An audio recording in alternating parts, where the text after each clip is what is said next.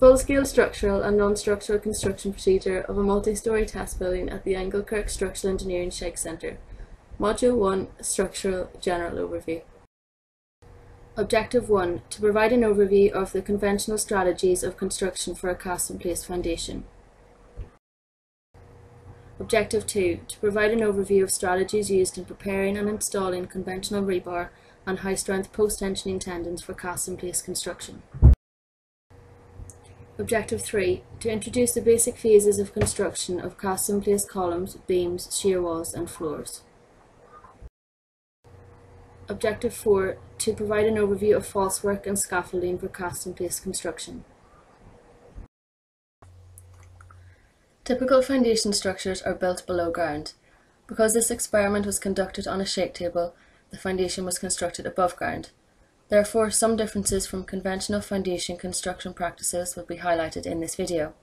One of the most apparent differences between the five-story building case study and footing construction in conventional buildings is that the test building was constructed directly on a shake table, also called a steel platen, rather than on the ground.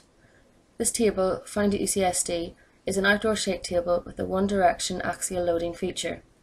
Missing in this video is the initial step of excavating the earth in order to place the foundation into the ground. When constructing a specimen on a shake table, a test structure is cast directly only to the top of the steel platen, requiring formwork to support the side walls of the foundation.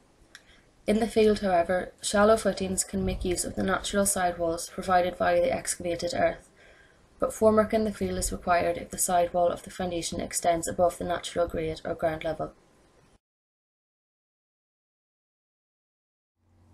Depending on the design of the foundation, the formwork may often require both an interior and exterior segment to support the structure of foundation components. In this particular case, the interior formwork segment was installed first. After completion of the interior formwork, the exterior formwork of the foundation is constructed. Unlike traditional building construction, box elements were fabricated at each edge of the foundation to block the concrete from filling the space where base isolators would eventually be installed. Base isolators are used to dampen the shaking of the structures when seismic forces are applied to them, and consequently to reduce the damage to structural and non-structural components of the structure. After the construction of the foundation formwork is complete, steel reinforcing bars, simply termed rebar in the field, are installed. When a concrete section is reinforced with steel rebar, it is termed reinforced concrete. These carbon steel reinforcing bars, which are ribbed to facilitate a strong mechanical interlock with the concrete, are used to increase the tensile strength of concrete, since it is weak in tension. After the construction of the foundation formwork is complete, steel reinforcing bars are connected together in different directions to form rebar cages. Rebar cages provide tensile strength for the concrete in more than just one direction, as opposed to rebars laid at one single dimension.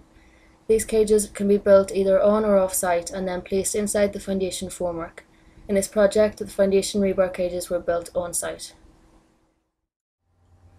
Continuity with the superstructure is facilitated by extending reinforcing steel from the foundation with sufficient overlap to reinforcing steel provided within the structural components, such as walls or columns. In this project, during placement of the foundation reinforcing cage, the reinforcing cage from the columns were placed and extended well into the upper levels of the building. The columns were detailed with a prefabricated welded tie tightly spaced up its height encapsulating the vertical bars. In many structural applications, high-strength steel rods are used to pre-stress reinforced concrete and ultimately improve the integrity of the structure. In pre-stressed members, compressive stresses are introduced into the concrete to reduce the tensile stresses resulting from applied loads, including the dead load. Pre-stressing can be accomplished either by pre-tensioning or post-tensioning the concrete. Post-tensioning can be done in two forms of bonded or unbonded. In this project, both bonded and unbonded post-tensioning were used. High-strength rods and tendons were placed inside PVC ducts, which were cast within the foundation.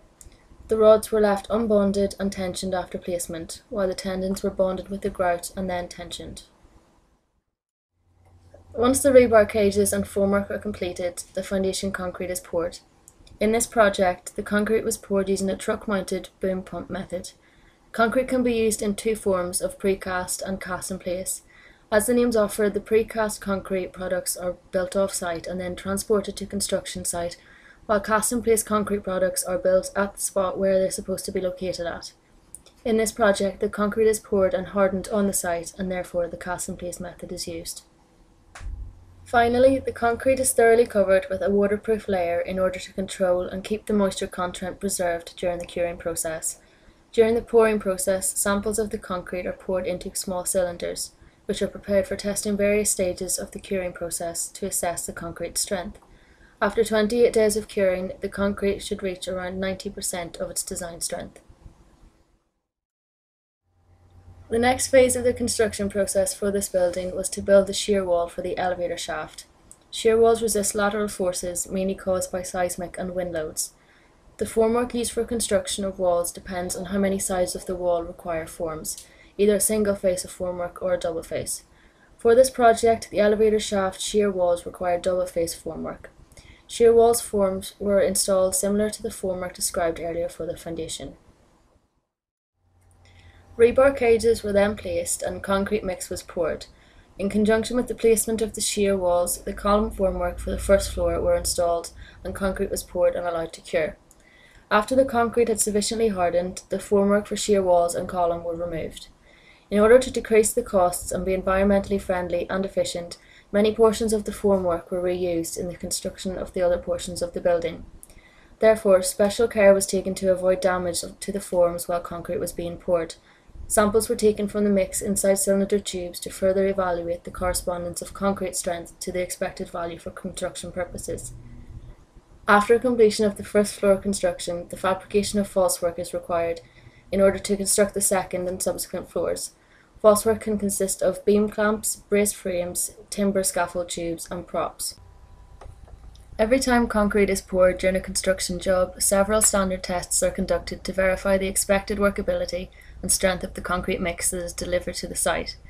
For each concrete truck that arrives on site, a slump test is performed immediately on the side of the job site. A cone shaped mould is first filled with wet concrete. Then a metal rod is inserted into the top of the cone and pumped up and down 25 times. This helps eliminate air bubbles and increases the homogeneity of the concrete mix. The mould is then removed slowly and placed adjacent to the concrete specimen. The free concrete is allowed to slump down under its own gravitational weight. After the slump settles, the metal rod is levelled horizontally on top of the mould, and the distance from the horizontal rod to the top of the concrete is measured. The change in height of the concrete sample is referred to as the slump for that specific batch of mix. The slump measurement is compared with specified values, and a decision is made to accept, modify, or reject the concrete mix before placing the concrete. During construction of structures higher than one story, safety measures in the form of scaffolding must be provided for workers. In accordance to the Occupational Safety and Health Administration, known as OSHA, scaffolds of at least 18 inches wide must be provided as a walkway for workers, and they should be at least 10 feet away from power lines. Scaffolds must remain completely planked platforms, equipped with safety guardrails on all open sides, and be tied properly to the building. If a scaffold is more than 10 feet above ground, workers must have fall protection. For construction of this multi-story building, all the workers were provided with safety training and fall protection. In addition, all required occupational safety and health administration regulations and codes were adhered to. After finishing the second floor, the formwork for the shear walls and columns were removed. Because of the repetition of the procedure, system formwork is used for building the rest of the floors to decrease costs and increase the speed of construction. System formwork is made from standard modular components that are assembled like Lego pieces. In comparison to conventional timber formwork, system formwork has better casting quality, more recycle times, and faster erection. There are two types of system formwork, jump form and slip form. Slip form usually makes use of its own hydraulic power to lift itself up against previously completed floors and is suited for tall structures where no change in formwork is required. On the other hand, jump form requires a crane to lift it up for each cycle. In this project, jump form was used for the upper floors. Once the second floor was completed, the system formwork was raised for construction of the third floor, where the columns and shear walls were installed. This process was repeated for each subsequent floor. In addition to structural formwork providing access to each subsequently constructed floor level, prefabricated metal stairs were installed at each level to provide access to the upper levels. The stairs are built off-site and then moved to the site for installation. Stairs are installed in two phases. During the first phase, the skeleton of the whole structure is not complete, and the stairs connect only the first three lower floors. After the completion of the skeleton of the whole structure, the second phase of stair installation begins. Stairs connect the upper two floors in this phase. This method is continued with slight changes for the subsequent upper floors. This video provides a general overview of the construction of a multi-purpose five-story building. It provided an overview of the conventional strategies of construction for a cast-in-place foundation. It also provided an overview of the strategies used in preparing and installing conventional rebar and high-strength post-tensioning tendons for cast-in-place construction. In addition, the basic stages of construction of columns, beams, shear walls, floors, and stairs was provided. Finally, an overview of falsework and scaffolding for cast-in-place construction was explored.